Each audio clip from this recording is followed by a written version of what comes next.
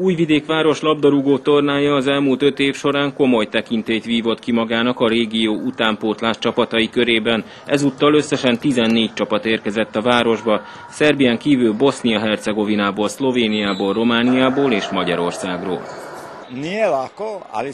Nem könnyű egy ilyen tornát megszervezni, de már öt éve arra törekszünk, hogy magas színvonalú legyen a rendezvény. Az a fő célunk, hogy a vendégeink elégedetten távozzanak, és minden gyermek mosolyogjon, amíg itt van nálunk. A legfontosabb ugyanis a barátkozás. Újvidék a sportvárosa, ahol fontos a gyermeksport, ezt bizonyítja ez a torna is. A magyarországi vendégek közül a Pécs korosztályos csapata már tavaly is részt vett a tornán, idén pedig csatlakozott a Szegedi Szeac is, amely nem klasszikus akadémiákhoz hasonlóan működik. Mi az óvodában kezdjük a foglalkozásokat, ott kezdtük el a munkát, bementünk az általános iskolákban, és valójában folyamatosan a helyi gyerekeket, Szegedhez közeli gyerekekkel foglalkozunk, azokat próbáljuk irányítani, figyelünk a, a tanulásukra, tehát úgymond egy komoly tehetségközpontot hoztunk létre Szegeden, most már 8. éve zajlik ez a történet. Egy 1 0 győzelemmel és egy gól nélküli döntetlennel kezdték a tornát a szegedi fiúk. Hát a második meccsen hát, a, akar, hát akartunk rendesen, de nem bírtunk jól passzolni, mert jól védekezték, meg hát a helyzeteket ott se rúgtuk be.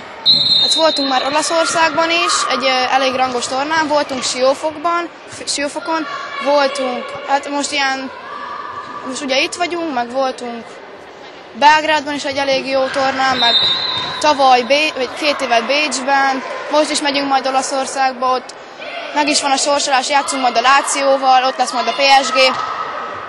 Hát én örülök, hogy itt játszok. Szóval a SZEASZ tagjai kemény mérkőzéseken vettek részt Újvidéken, hiába U12-es a torna, a pályán komoly küzdelem zajlott, de állták a sarat. Ez uh, itt inkább az erőszakról szól a torna, mert mert hát inkább ke- ke- kemények itt a játékosok, nem annyira technikások. Olaszországban technikásak, minden. Ausztriában is ilyen erősebbek, de szerintem ez a legerősebb Szerbia. Ezek ilyen erő emberkék a magyar gyerekeknek, a magyar fiataloknak elsősorban az a hátrányuk, az elmúlt években az volt a hátrányuk, hogy amikor megméretetésre került sor, akkor elhullottunk, és ez a megméretetés ez elég későn kezdődött.